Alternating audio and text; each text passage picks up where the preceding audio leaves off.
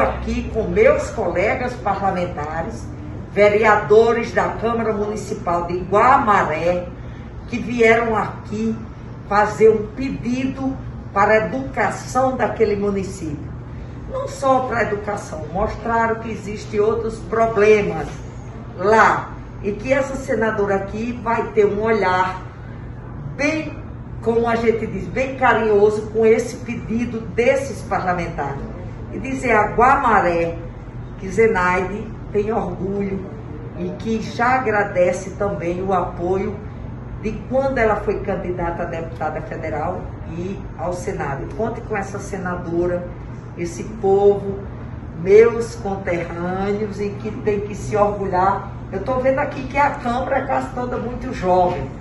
Como eu digo, os jovens, o país vive uma situação tão difícil que os jovens não podem esperar pelo futuro, já tem que fazer parte do presente. Um forte abraço em cada um de vocês.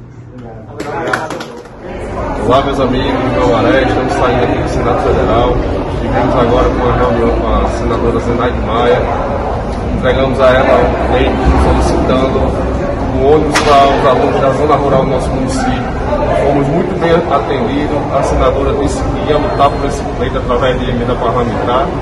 E falamos a respeito também de algumas emendas para a saúde do nosso município. E a senadora também ficou de lutar por esses, esses pleitos.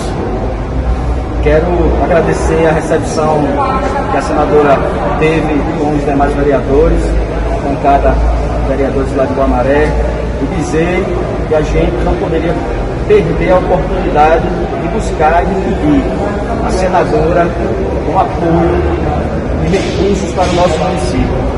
Nós só temos a agradecer, senadora Zenaide Maia, pelo, esse, pelo reconhecimento e nos receber em seu gabinete. Muito obrigado. Vamos em frente.